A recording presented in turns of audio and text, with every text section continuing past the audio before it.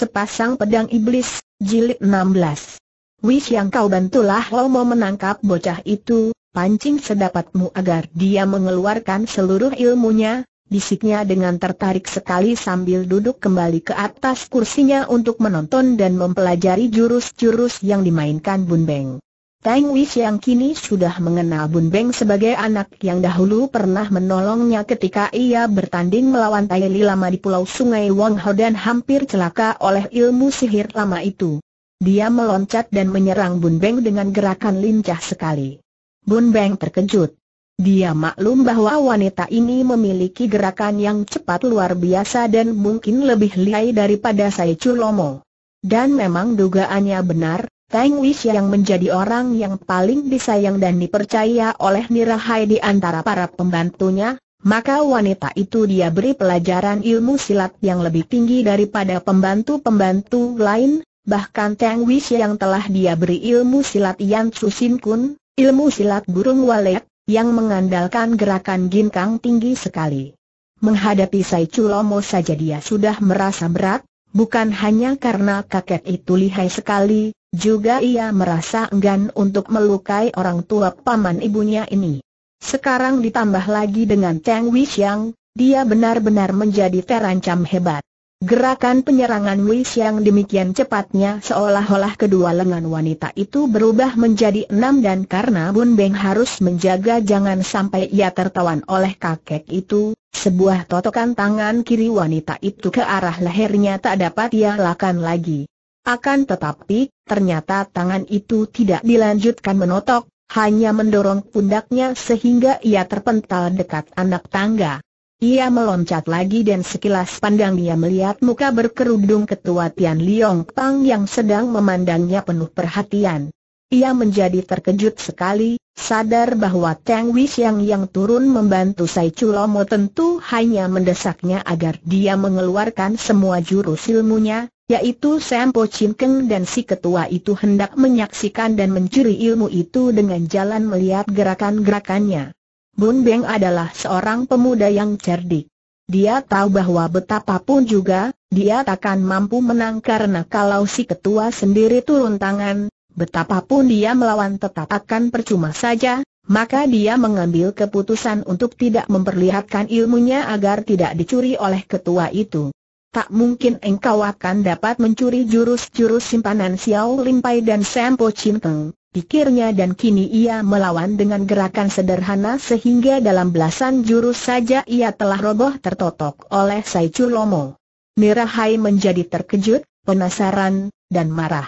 Dia pun mengerti bahwa pemuda bandel itu sengaja tidak memperlihatkan jurus-jurus aneh itu, dan sengaja membiarkan dirinya tertangkap. Lempar dia ke dalam penjara di bawah tanah bentak ketua Tian Liong Pang. Jangan keluarkan sebelum dia mentaati perintah. Sai Chulomo terkejut dan memandang ketuanya. Akan tetapi sinar mata ketuanya jelas menyatakan tidak mau dibantah. Terpaksa Sai Chulomo diam saja melihat tubuh pemuda itu diseret oleh dua orang petugas yang membawa ke tempat tahanan di bawah tanah yang letaknya di sebelah belakang kompleks bangunan-bangunan sarang Tian Liong Pang. Biarpun tubuhnya sudah lemas tertotok, ketika ia diseret pergi, Bun Beng masih mendengar ucapan ketua Tian Liong Pang, lanjutkan pesta dan pertandingan. Dia merasa puas dapat menangkap kemarahan dan kejengkelan dalam suara itu. Dia telah kalah, dia telah gagal menolong para tokoh Kang Ou, namun sedikitnya dia telah berhasil membuat ketua Tian Liong Pang kecewa, terhina dan marah-marah. Tahanan di bawah tanah itu amat menyeramkan. Dua orang petugas yang kini menggotong tubuh Bun Beng, membawa pemuda itu memasuki lorong bawah tanah yang menurun melalui anak tangga batu. Lorong yang gelap dan di tiap tikungan terdapat pintu besi yang terjaga oleh dua orang anggota Tian Liong Pang.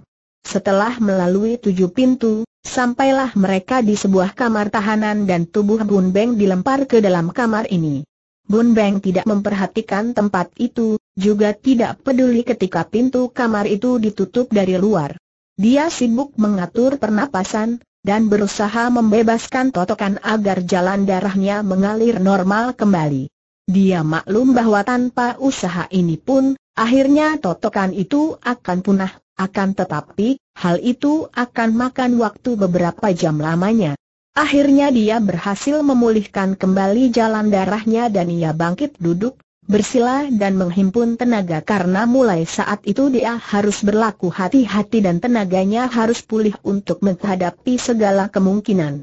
Sekitar sejam lamanya dia bersilian, tidak mempedulikan keadaan di sekelilingnya. Setelah tenaganya pulih dan batinnya tenang kembali, baru Bun Beng menghentikan semedinya dan membuka mata. Mula-mula yang ia dapati adalah bahwa kamar itu agak gelap, remang-remang dan lembab. Kemudian setelah membiasakan matanya dalam cuaca yang remang-remang itu, ia bangkit berdiri dan mulai menyelidiki kamar tahanan. Sebuah kamar berdinding batu yang lebarnya 3 meter persegi, langit-langitnya juga batu, tingginya dari lantai ada 4 meter. Tidak ada jendelanya, hanya terdapat sebuah pintu dari mana dia dilempar masuk. Pintu ini kecil hanya cukup dimasuki satu orang, dan terbuat dari baja tebal yang masuk ke dalam dinding batu. Kokoh kuat pintu itu, tak mungkin dibongkar. Bun Beng menarik napas panjang karena sekali pandang saja dia maklum bahwa tidak mungkin lolos dari tempat ini menggunakan tenaga membongkar pintu atau menjebol dinding. Harus mencari akal. Namun, andai kata dia dapat keluar, bagaimana ia dapat lolos dari Tian Liong Pang? lorong itu saja mempunyai tujuh buah pintu yang terjaga, belum lagi diingat bahwa kalau dapat keluar dari lorong bawah tanah, di atas sana masih ada tokoh-tokoh Tian Liong Pang yang liai, terutama sekali ketuanya. Aku harus bersabar dan melihat perkembangan selanjutnya, akhirnya ia menghibur diri sendiri. Betapapun juga dia merasa yakin bahwa dia tidak akan dibunuh karena selain Sai Culomo mengaku sebagai kakeknya itu tidak suka melihat keturunannya terbunuh, juga ketua Tian Liong Pang agaknya ingin sekali mendapatkan ilmu silatnya, terutama sekali Sempo Chin Keng. Betapapun, dia masih memiliki ilmu sebagai modal untuk hidup. Dengan pikiran ini, hatinya menjadi lebih tenang dan Bun Beng lalu mencari tempat duduk di lantai yang enak. Akan tetapi, mana ada tempat duduk yang enak. Lantai itu terbuat dari batu pula, kasar dan agak basah karena selalu ada air menitik turun dan di atas lantai tampak rangka-rangka manusia berserakan. Bun Beng mengerutkan keningnya. Ada tujuh buah tengkorak manusia di dalam kamar mereka itu. Siapa tahu mungkin lebih banyak lagi, tersembunyi di balik batu-batu berlumut. Dia tidak peduli, akan tetapi rangka-rangka manusia di situ memperingatkannya bahwa kalau dia tidak mentaati perintah ketua Tian Liong Pang dan tidak mau menjadi anggotanya, tanpa dibunuh pun dia akan mati di tempat ini, seperti rangka-rangka itu. Akan tetapi, mungkinkah kakek muka singa yang telah berani mati membelanya itu akan membiarkan dia mati? Tidak. Dia tidak boleh mati kelaparan di tempat ini. Dia harus berusaha untuk keluar dari neraka ini. Mulailah Bun Beng melakukan penyelidikan. Mula-mula dia memeriksa pintu itu dan mencoba tenaganya. Namun segera mendapat kenyataan bahwa tidak mungkin dia menjebol pintu yang amat kuat itu. Dia lalu memeriksa dinding batu. Dinding yang amat kokoh, batu bertumpuk dengan tanah yang keras. Kokoh kuat tak mungkin dibongkar dengan tangan kosong. Siapa tahu akan ada penjaga datang menyerahkan makanan, pikirnya. Kalau mereka, terutama kakek muka singa, tidak menghendaki dia mati, tentu mereka akan mengirim makanan dan minuman. Dia merasa yakin bahwa dia tidak akan dibiarkan mati begitu saja sebelum dibujuk. Maka ia menghentikan pemeriksaannya dan kembali duduk di sudut kamar itu, bersila dan bersemedi. Teringat ya akan semua pengalamannya di waktu kecil.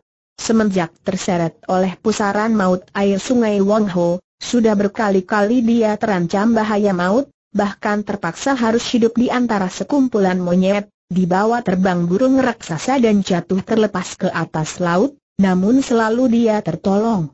Kalau Tian menghendaki, sekali ini pun dia tentu akan selamat. Teringat akan kekuasaan Tuhan, Bun Beng menjadi tenang. Manusia hidup tergantung dari kekuasaan Tuhan, mutlak dan seluruhnya. Tanpa kekuasaan Tuhan, manusia tak mungkin dapat hidup. Detik jantung yang memompa darah ke seluruh bagian tubuh, pernapasan yang memberi makan darah, semua berjalan otomatis tanpa dikuasai manusia.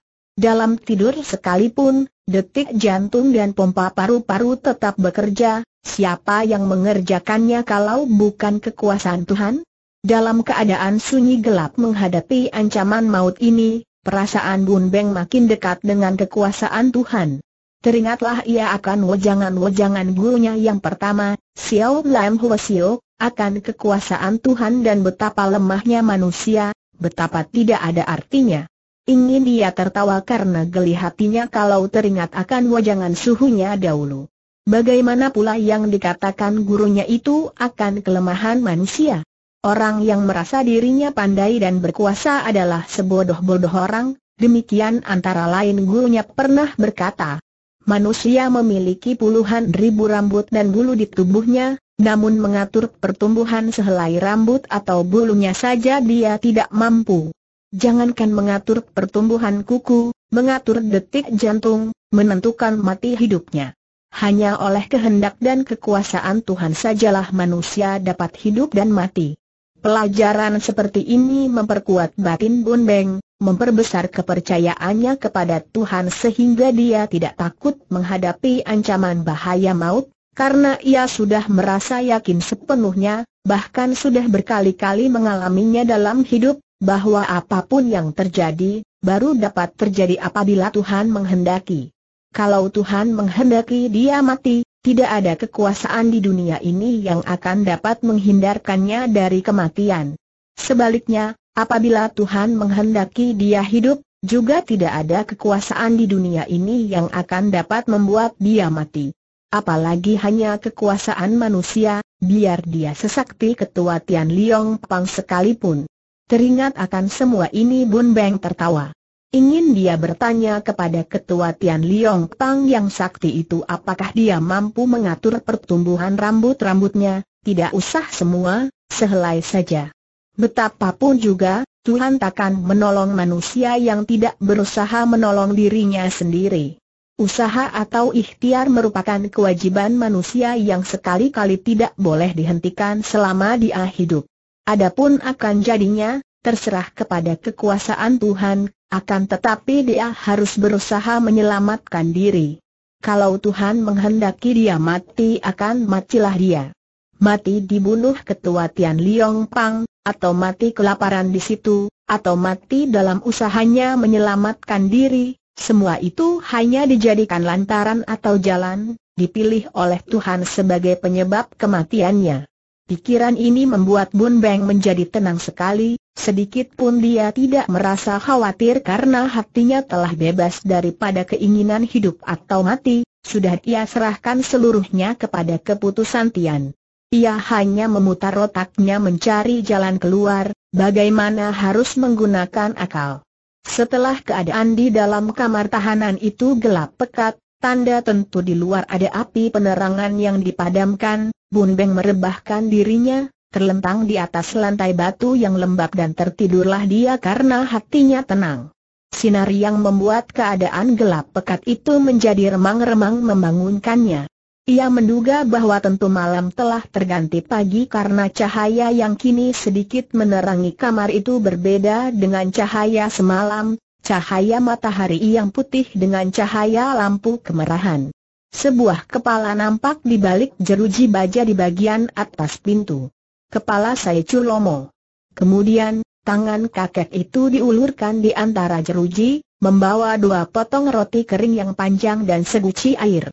Bun Beng dapat menangkap getaran suara penuh haru dan harap dalam kata-kata kakek itu. Ia menahan kilas pikiran untuk menangkap kedua lengan kakek yang diulur masuk melalui jeruji besi. Apa gunanya?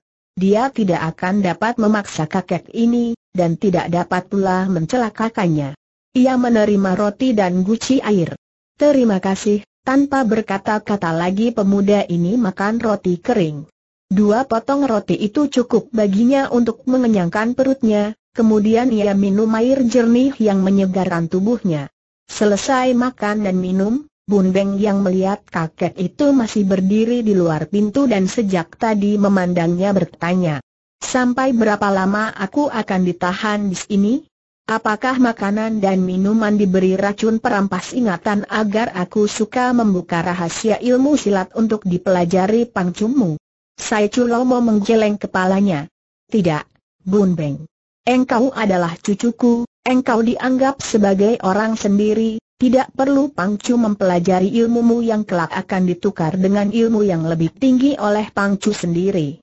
Bun Beng, tidak tahukah engkau bahwa kami bermaksud baik kepadamu? Engkau cucuku, hanya satu-satunya, maka engkau tidak akan dibunuh. Kalau engkau suka menjadi anggota Tian Liong Pang, engkau malah akan memperoleh kedudukan tinggi, sesuai dengan kepandaianmu. Bun Beng menggeleng kepala. Biarpun dia harus berusaha meloloskan diri, akan tetapi tak pernah terpikir olehnya menukar keselamatannya dengan merendahkan diri menjadi anggota Tian Liong Pang yang ia anggap amat jahat dan keji. Percuma saja engkau membujuk. Aku tidak akan suka menjadi anggota Tian Liong Pang hanya untuk menyelamatkan nyawaku. Kalau aku berhasil keluar dari sini, Aku tetap akan menentang Tian Liong Pang menculiki tokoh-tokoh Kang Ou. Ah, engkau tidak tahu, Bun Beng. Pang Chu adalah seorang bijaksana, sama sekali bukan orang jahat. Bahkan dia telah merubah Tian Liong Pang dari kesesatannya, kembali ke jalan benar. Kalau dia melakukan penculikan atas diri tokoh-tokoh Kang Ou, itu sekali-kali bukan dengan niat mencelakakan mereka, melainkan hendak mempelajari dan menyaksikan jurus-jurus rahasia mereka yang telah diketahui Pangcu bagian teorinya saja. Kemudian mereka dibebaskan kembali. Pangcu adalah seorang yang memiliki kesaktian hebat. Hem, kalau memang sakti, mengapa masih ingin mencuri ilmu orang-orang lain? Pangcu tidak akan menggunakan ilmu-ilmu itu, hanya ingin menghimpun, kemudian menciptakan ilmu baru untuk menandingi kehebatan cucu Pulau Es. Bun Beng mengerutkan keningnya. Justru itulah yang aku tidak suka. Aku kagum dan suka kepada pendekar siluman yang aku yakin adalah seorang yang selain sakti, juga amat bijaksana.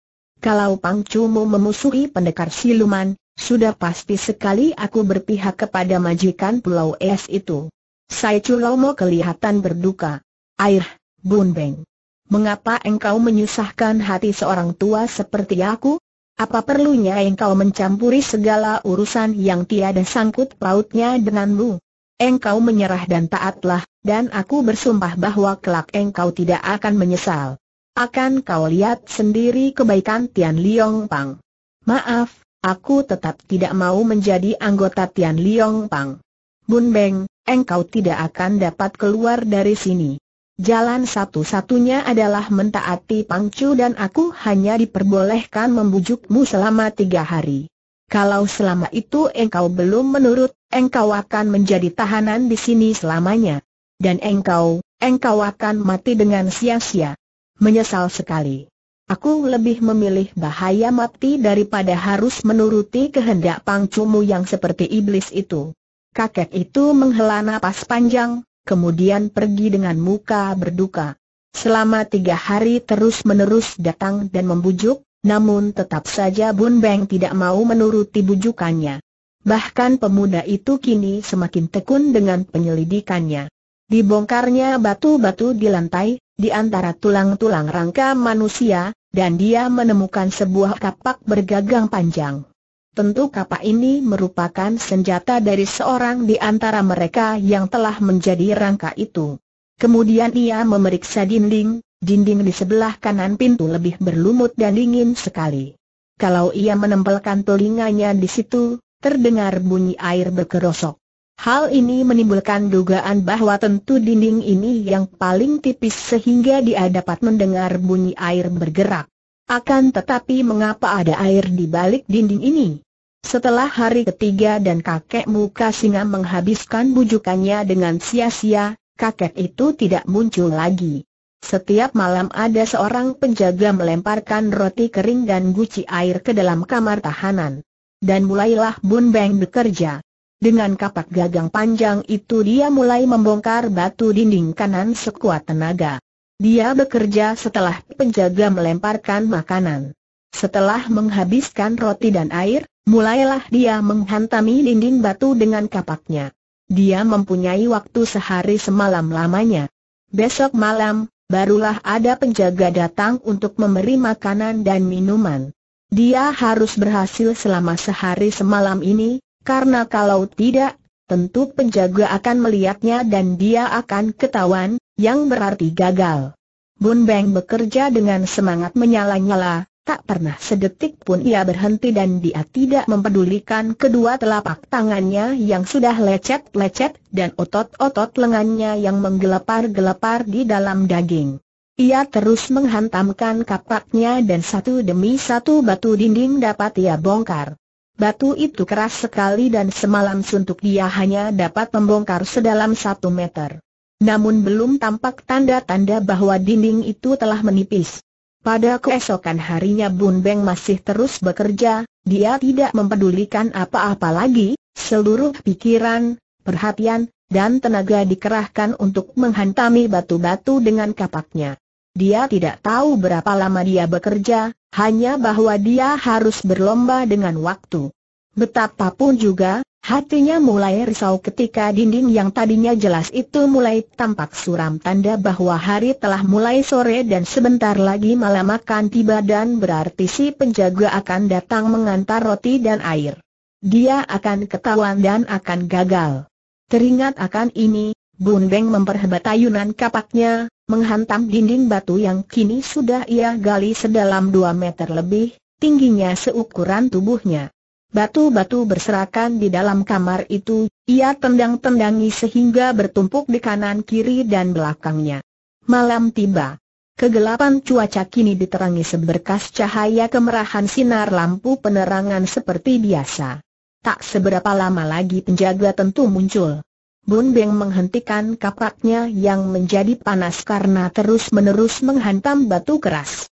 Dia terduduk, terengah-engah dan menghapus peluh sambil mengasah otak. Bagaimana sekarang? Dinding terkutuk itu tidak juga dapat ia tembus, agaknya setebal perut gunung. Dan si penjaga sebentar lagi datang.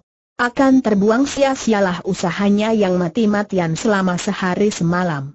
Tubuhnya terasa penat sekali, Perutnya lapar dan kerongkongannya kering, haus. Lapar dan haus. Teringat akan ini, Bun Beng meloncat bangun dan lari ke pintu, menempelkan tubuhnya ke pintu yang lebarnya hanya sebesar orang. Kedua lengannya ia keluarkan dari celah-celah jeruji baja, mukanya ia tempelkan pada jeruji dan matanya mengerling ke arah datangnya penjaga. Ketika ia melihat penjaga datang membawa roti dan guci air, Bun Beng berteriak-teriak memaki, penjaga keparat. Mengapa begitu lama? Aku sudah kelaparan dan hampir mati kehasan. Hayo cepat bawa roti dan air itu ke sini. Keparat jahana mengkau. Penjaga itu berhenti dan tertawa. Hahaha, orang muda. Jangan kira aku tidak tahu akan akal bulusmu. Dapat dibayangkan betapa kaget hati Bun Beng mendengar ini. Ia makin merapat pada jeruji pintu, menutupi seluruh celah jeruji dengan kedua lengan di kanan kiri mukanya. Apa, apa maksudmu? Kembali penjaga itu tertawa dan berdiri agak jauh sehingga Bun Beng tidak akan mampu menjangkau dengan tangannya. Hahaha, apa kau kira aku bodoh? Engkau tentu ingin agar aku mendekat sehingga engkau dapat menangkap dan membunuhku, bukan? Rasa lega menyelubungi hati Bun Beng. Ia membentak, memang aku ingin sekali mencekik lehermu dan mematahkan tulang punggungmu. Jangan mimpi, aku lebih cerdik darimu. Begitu melihat engkau di pintu, aku sudah curiga karena biasanya engkau tidak mengacuhkan roti dan air yang kubawa untukmu. Tentu engkau hendak menggunakan akal, pikirku, maka aku tidak mau mendekat. Nah, nih, kau tangkap roti dan airmu. Hahaha penjaga itu melemparkan roti dan guci air ke arah kedua tangan Bun Beng. Dengan sengaja Bun Beng bergerak lambat. Roti dapat ditangkapnya, akan tetapi guci air itu luput dan jatuh ke atas lantai di luar pintu, airnya tumpah. Jahanam, lekas ambilkan air untukku. Aku haus sekali Bun Beng berteriak-teriak akan tetapi penjaga itu tertawa. Rasakan kau katanya sambil berjalan pergi. Bun Beng cepat mengambil kapaknya dan lupa makan. Dia mulai lagi bekerja, hatinya lega. Dia telah dapat memperpanjang waktu usahanya sehari semalam lagi. Batu-batu itu mulai mudah dibongkar karena tanahnya lembek dan basah, bahkan kini ada air menetes-netes memasuki kamar. Dia menggali terus penuh semangat. Pada keesokan harinya lewat pagi, air yang menetes makin banyak, bahkan kini jelas terdengar bunyi riak air. Bun Beng mengapak terus, tampak ada batu bergerak, kapaknya terayun ke arah batu itu dan kerasak-kerasak, diulur. Bun Beng cepat meloncat ke samping, melempar kapaknya dan mepet pada dinding dekat lubang yang kini tiba-tiba pecah menjadi lebar terdorong oleh masuknya air seperti dituang. Bun Beng berdiri mepet dinding dengan muka pucat.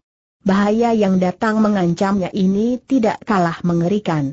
Memang benar dia telah berhasil membobol dinding, akan tetapi ternyata di belakang dinding itu adalah air yang entah berapa banyaknya, yang kini membanjiri kamar tahanan. Bun Beng tidak mau panik, dan otak-otaknya bekerja cepat. Jika ia menerobos lubang itu, tidak mungkin dia kuat menghadapi tenaga air yang menerjang masuk, maka ia hanya mepet dinding dekat lubang sambil mencengkeram dinding batu dengan kedua tangannya. Dia maklum bahwa kalau kamar itu telah penuh, air akan terus menerobos keluar melalui celah-celah jeruji pintu. Akan tetapi, mengingat bahwa lubang itu tidak begitu besar dan air yang menerobos tidak banyak, maka tekanan air dari luar lubang dinding tentu tidak begitu besar. Maka dengan kenekatan luar biasa, Bun Beng menanti sampai kamar itu penuh. Air naik dengan cepatnya sampai ke leher, dia memejamkan mata dan mengumpulkan napas sepenuh paru-parunya sambil menanti. Bun Beng memang cerdik. Kalau dia panik dan berusaha keluar dari lubang dinding, selain air menerjang masuk, tentu dia akan terseret dan terbanting kembali sehingga membahayakan keselamatannya. Sebentar saja air menjadi penuh dan Bun Beng yang telah tenggelam di dalam air itu merasa betapa dorongan air dari lubang dinding yang jebol itu tidak begitu kuat lagi.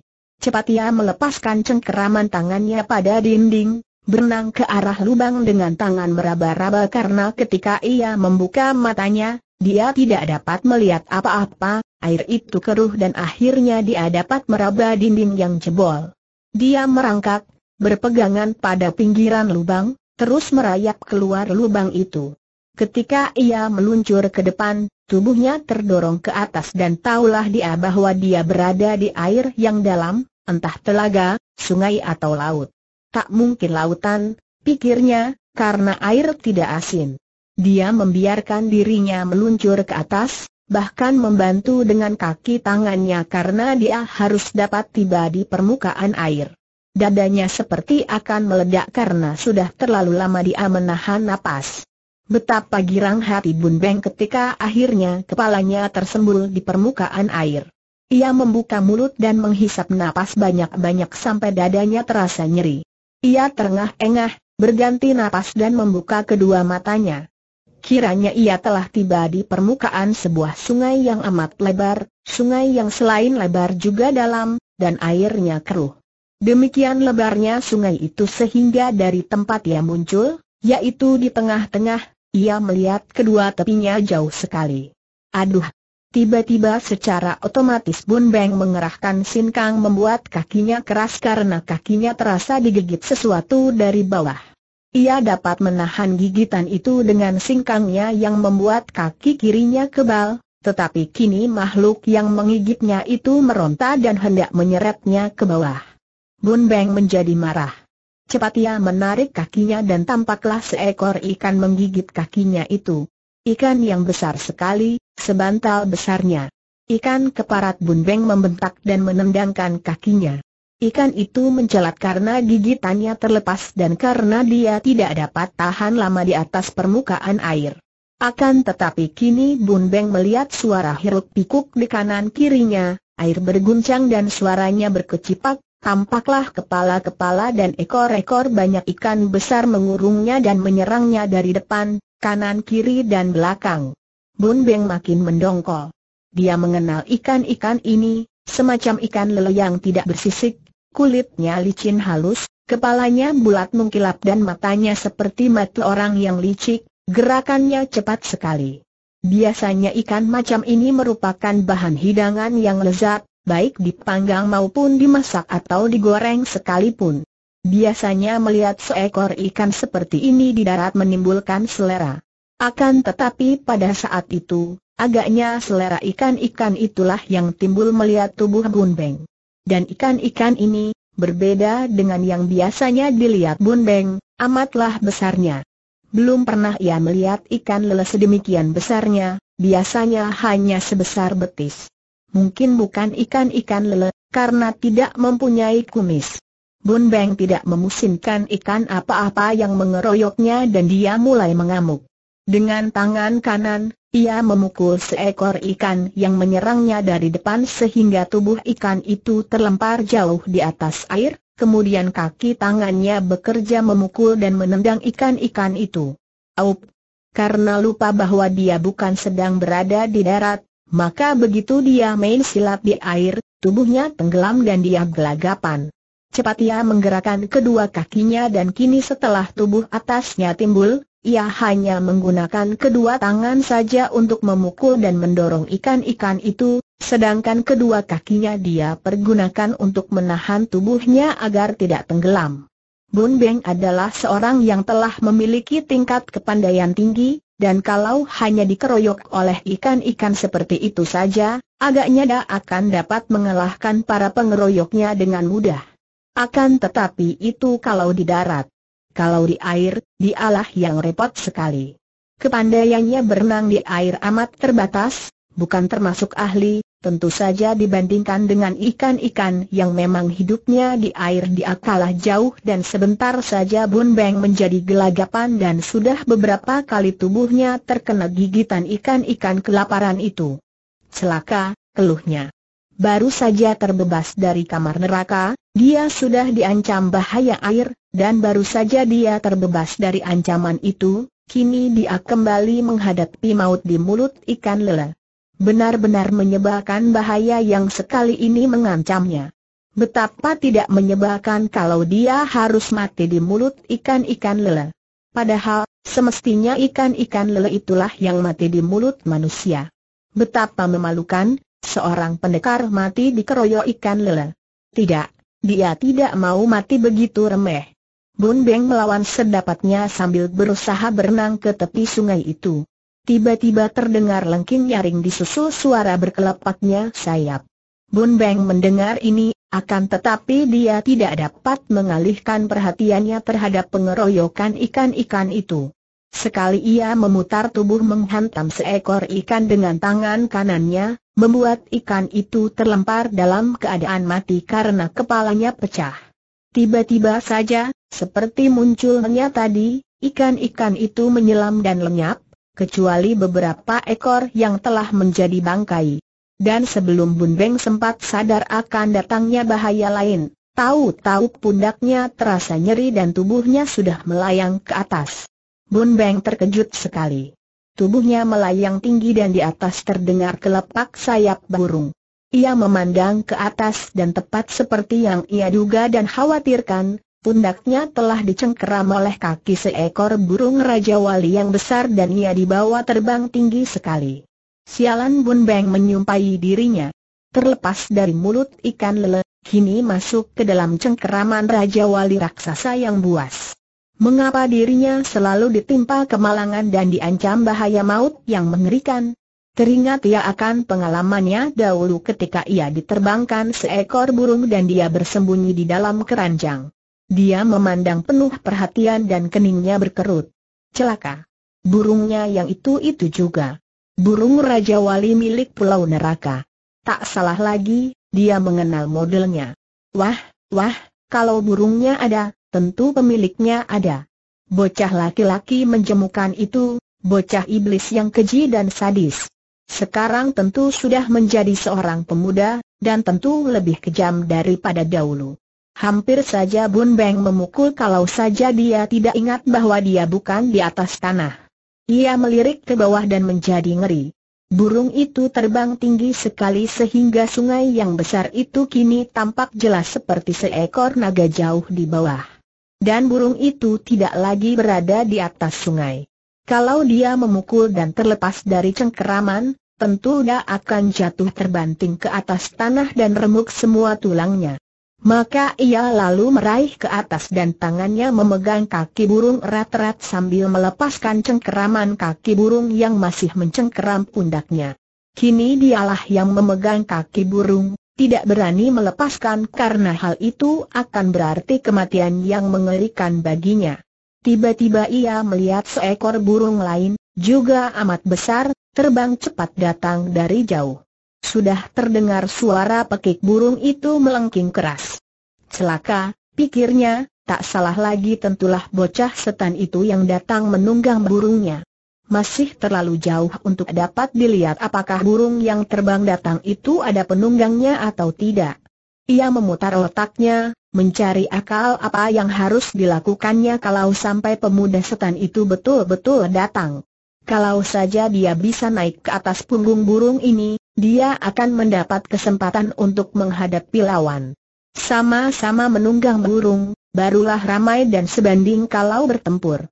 Kalau dia bergantung pada kaki burung, tentu saja dia tidak dapat melakukan perlawanan dengan baik, paling-paling dia hanya bisa melindungi tubuhnya dengan sebelah tangan, yang sebelah lagi harus ia pergunakan untuk bergantungan pada kaki burung. Tiba-tiba burung yang membawanya itu melengking keras, lengking tanda kemarahan, dan ketika burung yang terbang datang itu sudah tampak dekat, hati Bun Beng agak lega karena tidak tampak ada penunggangnya. Namun kelegaan hatinya itu menjadi berubah seketika saat kedua ekor burung itu sudah saling serang dengan hebatnya. Kini tampak jelas oleh Bun Beng bahwa burung yang baru datang adalah seekor burung Garuda putih. Dia mengenal burung itu. Burung tunggangan pendekar seluman. Burung Garuda dari Pulau Es. Tentu saja dua ekor burung yang menjadi musuh lama itu kini saling terjang mati-matian, saling cakar, saling patuk, saling kabruk sambil mengeluarkan suara melengking menulikan telinga. Bun Beng yang celaka dalam pertarungan antar dua ekor burung raksasa itu. Betapa tidak, Tubuhnya tergantung di kaki burung Raja Wali dan di dalam pertandingan itu, kedua ekor burung saling terjang sehingga tubuh Gunbeng terbawa, terguncang, bahkan dia menjadi korban terkaman burung Garuda yang tentu saja tidak dapat membedakan antara dia dari kaki burung lawan. Bun Beng yang masih bergantung pada kaki Raja Wali menjadi serba salah. Mau membantu Garuda Putih dengan memukul tubuh Raja Wali, berarti dia seperti memukul diri sendiri. Kalau Raja Wali itu jatuh, bukankah berarti dia sendiri pun jatuh-jatuh ke bawah? Mau membantu burung Raja Wali, dapat ia lakukan dengan jalan memukul Garuda Putih di waktu dua ekor burung itu saling kabruk, Hatinya tidak mengizinkan karena dalam pertandingan antara kedua ekor burung itu otomatis dia berpihak kepada Garuda Putih yang menjadi peliharaan pendekar siluman yang ia kagumi. Membantu Raja Wali salah, membantu Garuda pun tidak mungkin. Diam saja juga tidak baik karena dialah yang paling payah dalam pertandingan angkasa itu. Bun Beng benar-benar merasa tersiksa sekali, tersiksa lahir batin tubuhnya menjadi bulan-bulanan, montang-manting terdorong ke sana sini, kena patuk dan cakar hingga ia luka-luka dan tubuhnya terasa sakit-sakit, pakaiannya pun banyak yang terkoyak.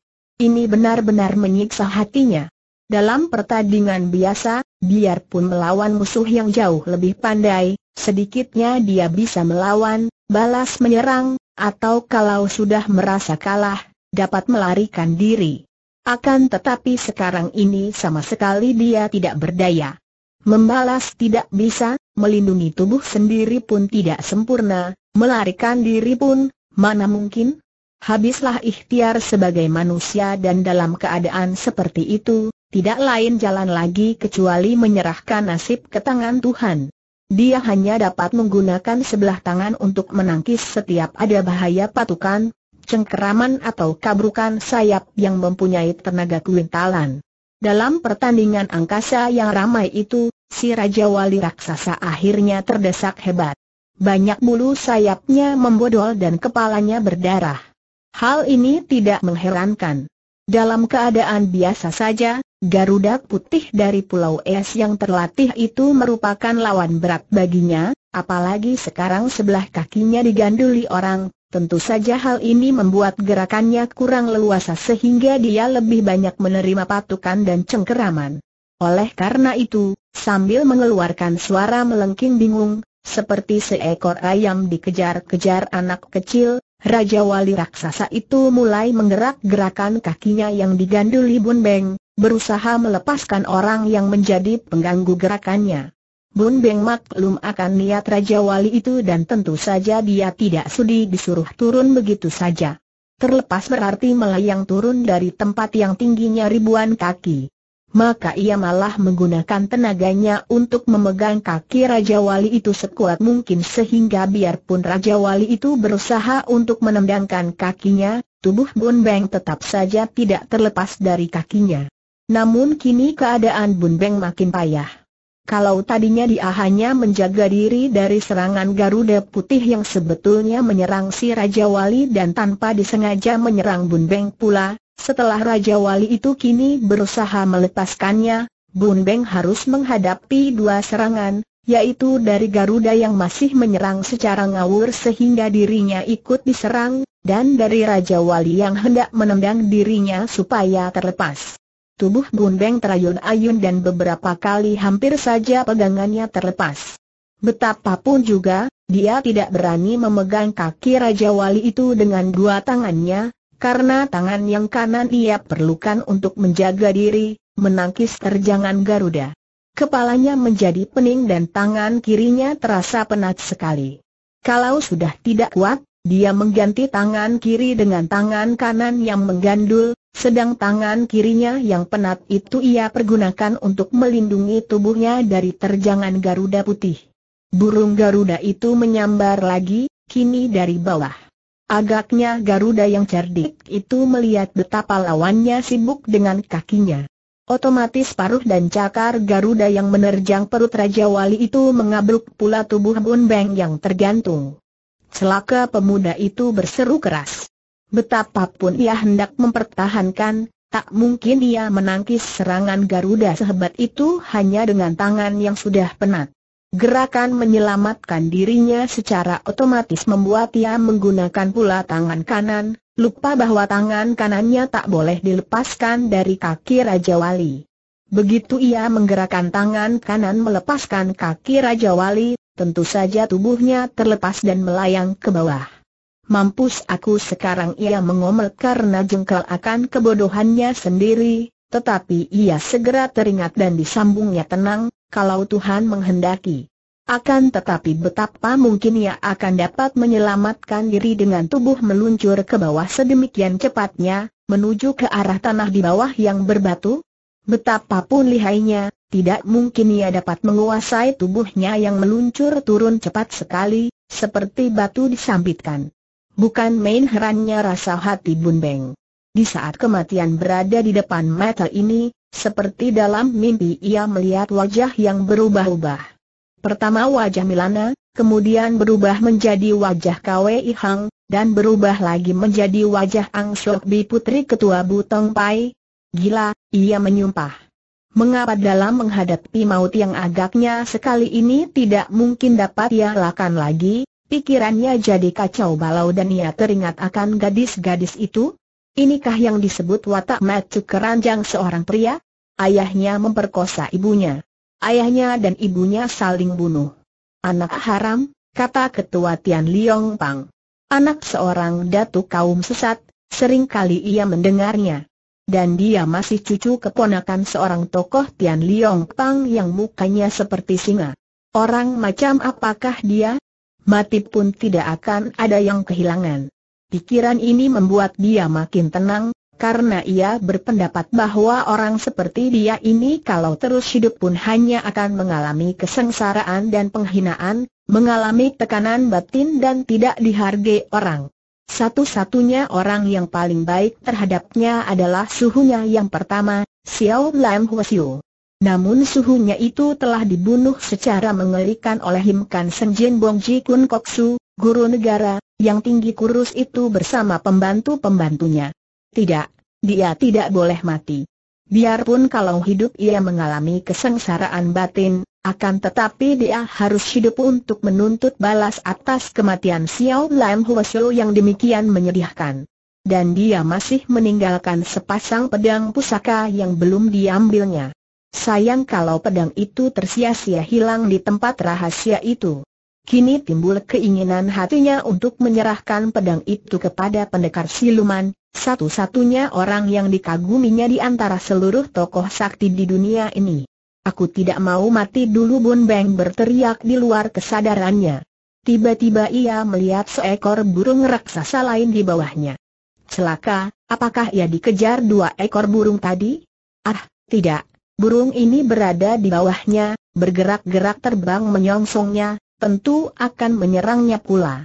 Dalam keadaan melayang dan meluncur turun ini, sedangkan untuk menjaga jatuhnya saja dia tidak mampu, bagaimana akan dapat mempertahankan diri kalau burung raksasa ini menyerangnya? Ah, dia akan tertolong kalau dapat menangkap burung itu. Asal dapat menangkapnya, entah merangkul lehernya atau merangkul kakinya, Pendeknya dia harus dapat menggunakan burung itu sebagai penyelamatnya dari kejatuhan yang tak dapat disangsikan lagi akan kehancuran tubuhnya. Kalau tadi timbul kengerian karena takut diserang burung baru ini, sekarang dia malah mengharap agar burung itu benar-benar menyerangnya. Karena kalau dia yang harus menuju ke burung itu, tentu saja tidak mungkin. Tanpa sayap mana mungkin dia bisa mengatur meluncurnya itu? Makin dekat, dan Bun Beng kembali menyumpah, dasar wak sialan. Yang disangkanya burung raksasa itu ternyata hanya sebuah layangan besar sekali. Memang bentuknya seperti burung, bahkan dilukis seperti burung, akan tetapi tetap saja benda itu hanya sebuah layang-layang yang biasa menjadi permainan seorang kanak-kanak. Apa artinya sebuah layang-layang baginya dalam keadaan terancam bahaya maut seperti itu? Seakan-akan malah mengejeknya, bergerak-gerak ke kanan kiri dipermainkan angin. Melihat betapa layang-layang itu bergerak-gerak seperti seekor burung yang menari-nari mengejeknya, timbul rasa panas di hati Bun Beng. Memang dia terancam bahaya maut, akan tetapi sedikit pun dia tidak takut. Mengapa harus diejek? Karena dia tidak berdaya membalas, kalau dia dapat tentu akan ditangkapnya layang-layang itu dan dicabik-cabiknya, maka Bun Beng hanya memejamkan matanya dan membiarkan tubuhnya meluncur terus ke bawah. Teringat ia ketika dahulu ia jatuh pula dari kaki burung Raja Wali terbang dan berada di dalam keranjang, akan tetapi di bawahnya adalah laut luas sehingga dia terjatuh dengan empuk. Hanya satu perbedaannya, kalau dahulu di waktu dia masih kecil dia menjadi pingsan ketika meluncur turun, kini dia dapat mempertahankan diri dan tidak menjadi pingsan. Hal ini karena singkangnya sudah bertambah jauh lebih kuat, maka ia merasa dadanya sesak dan sukar bernapas, namun ia masih dapat menahannya dan masih dalam keadaan sadar sepenuhnya, merasakan betapa tubuhnya melayang turun dengan kecepatan yang mengerikan. Tiba-tiba ia merasa kakinya nyeri dan luncuran tubuhnya tertahan, bahkan kini tubuhnya tergantung dengan kepala di bawah.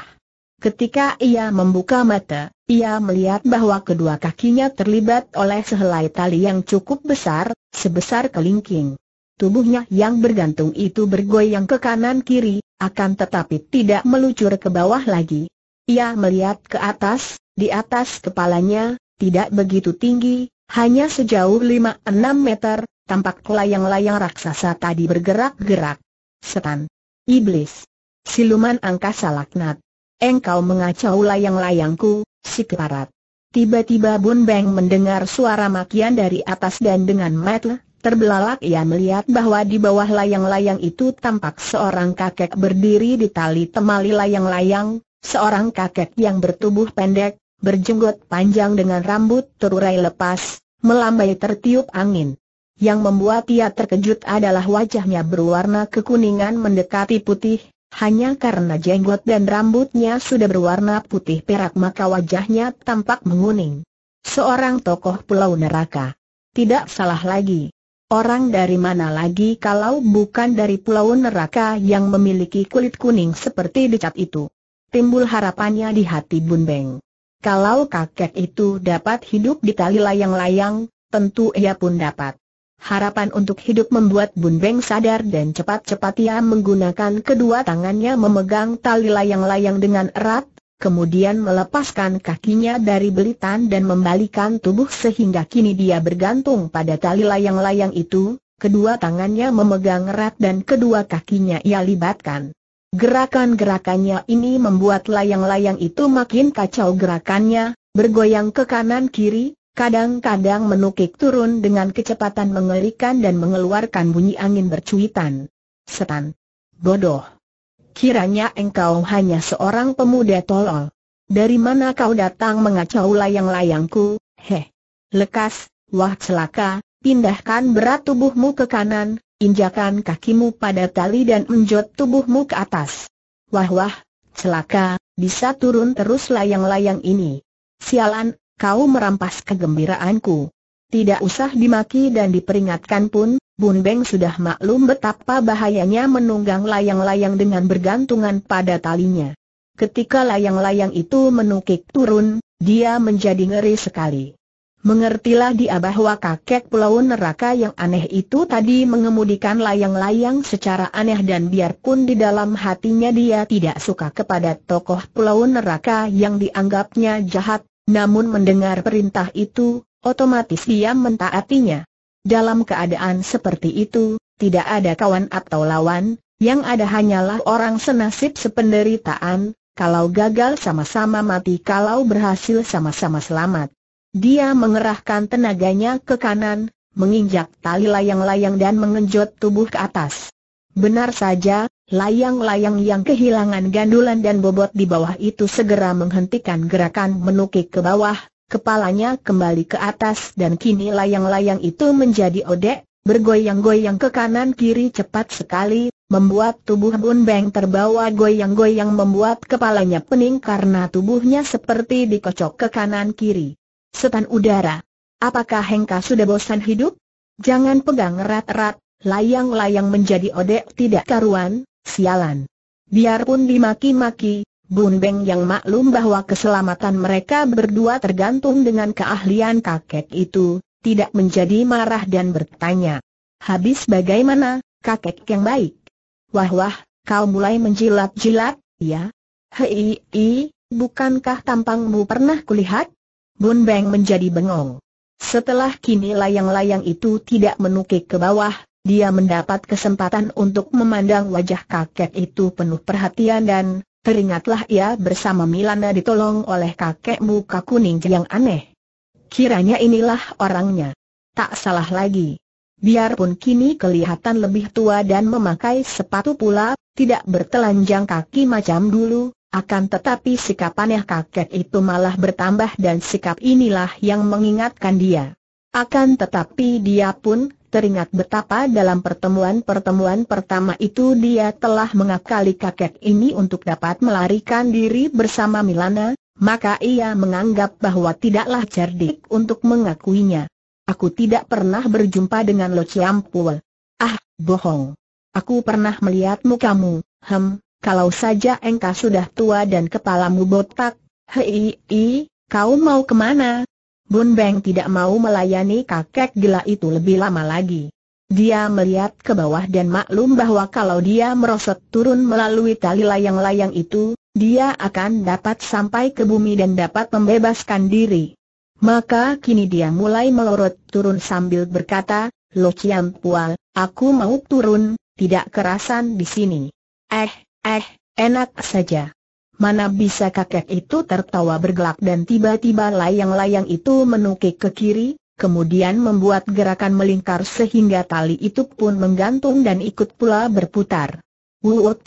Aih Bun Beng cepat mengelak dengan memindahkan tangan, bergantung pada tali agar jangan sampai terkena patukan layang-layang yang menyambar ke arah tubuhnya. Serangan aneh layang-layang itu luput, akan tetapi Bun Beng maklum bahwa dengan kepandaiannya yang dahsyat, tentu kakek itu akhirnya akan dapat memaksa ia meloncat turun dan akan hancurlah tubuhnya. Ia lalu menggerak-gerakan tubuhnya, menarik-narik tali layang-layang itu sehingga kembali layang-layang itu menjadi kacau balau gerakannya. Eh, oh, setan cilik. Jangan kacau layanganku kakek itu terkejut dan memaki-maki. Bun Beng tersenyum. Kalau Lo Ciampu tetap menyerangku, aku pun akan tetap menarik-narik tali layangan sampai putus, biar kita berdua mampus. Eh, jangan, eh, nanti dulu. Kalau talinya putus, aku bagaimana? Masa bodoh. Aku akan jatuh dan mati seketika, tidak menderita. Tetapi Lo Ciampu akan terbawa terbang layang-layang putus, mungkin dibawa ke neraka. Haho kalau neraka memang tempatku.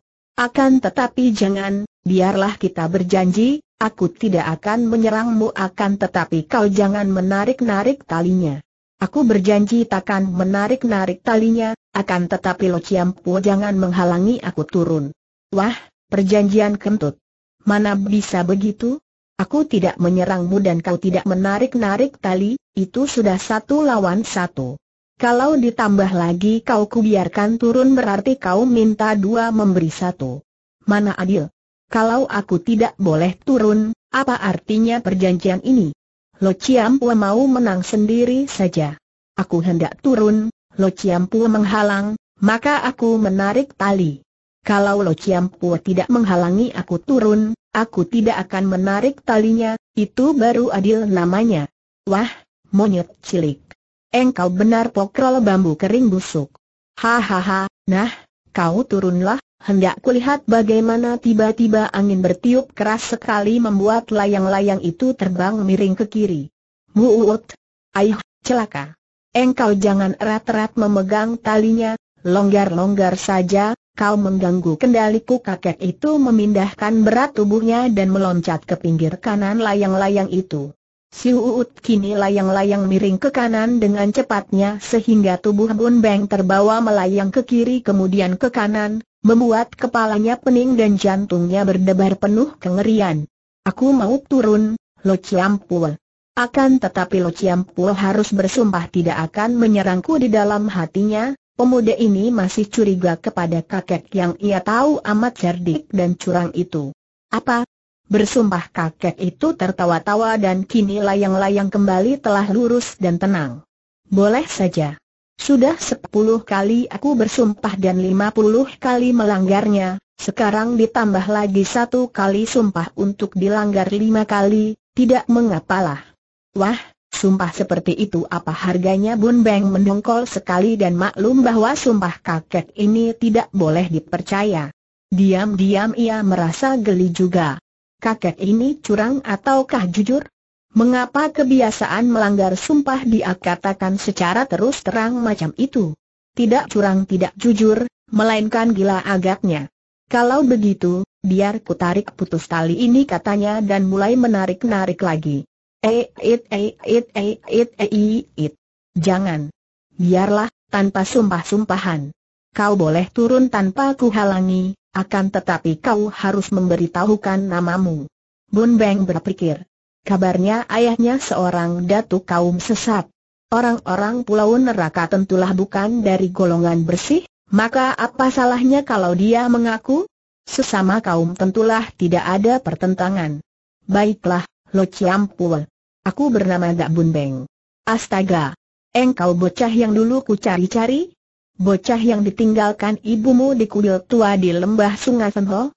Hahaha, engkau putra gak lihat si botak. Pantas saja aku seperti pernah melihat macammu, kiranya anak si gak lihat, si setan botak. Hahaha hai kakek itu tertawa terpingkal-pingkal, tangan kanan memegangi tali layang-layang, tangan kiri menekan-nekan perutnya. Mengkal sekali rasa hati Bun Beng menyaksikan lagak kakek itu. Kakek gila, engkau terlalu menghina orang. Siapa si engkau yang begini sombong? Dan apa hubunganmu dengan ayah bundaku? Hahaha kakek itu masih terpingkal-pingkal, bahkan saking geli hatinya, air matanya bercucuran di atas pipinya yang kuning. Nama Kungko Bohoek, di dunia Kangou aku dijuluki KWI Bun Lomo akan tetapi aku baru beberapa tahun merantau. Dalam perantauanku yang pertama, kebetulan sekali aku bertemu dengan Kang Tau KWI Gak lihat ayahmu. Kami bertanding dan aku membuat dia payah sampai terkencing-kencing.